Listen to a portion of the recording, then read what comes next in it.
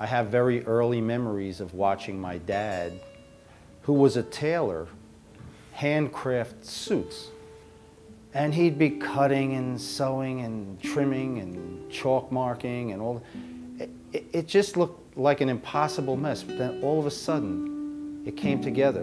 Beautiful suit. The, the, the person who, you know, commissioned it would come in, try it on. It looked incredible.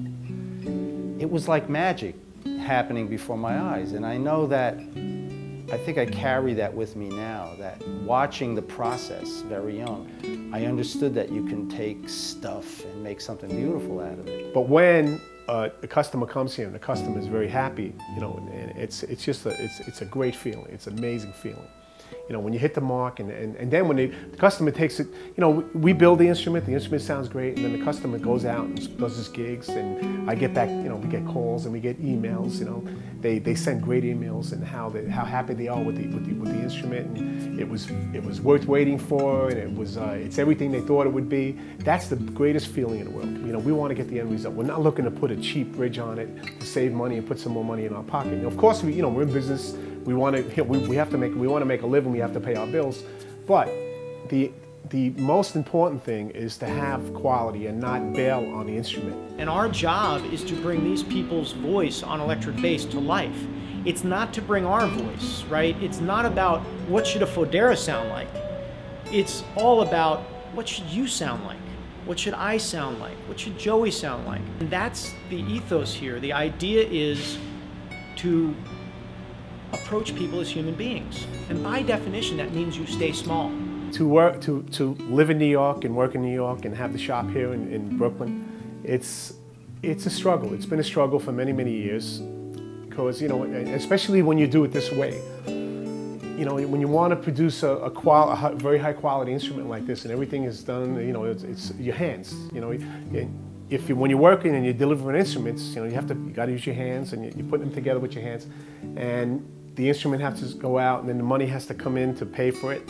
And the overhead of the shop has been, has been very high. Everything's very expensive.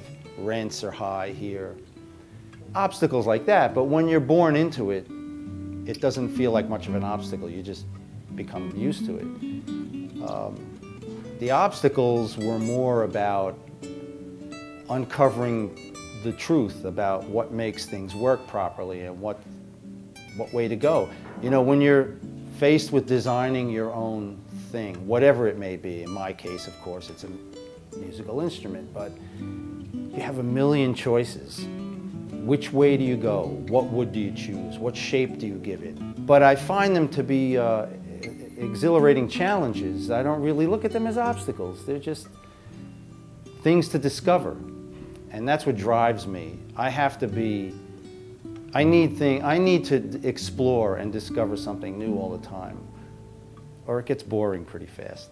These instruments, the way they are till this day, you know, for, I mean, today's our 29th anniversary, and they've, uh, they're like children being born for us. They really are.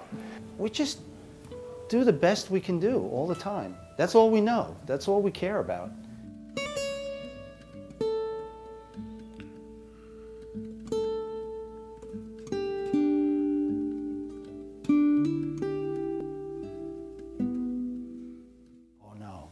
It's definitely not a job. It's a compulsion. It's an obsession. It's something you feel driven to do. I don't know. I mean, I, do you feel like that about this? I hope so. What may be lacking is uh, some serious dose of inspiration. I think people today need to hang out in museums a little more. You need to look at magnificent stuff and get turned on by it.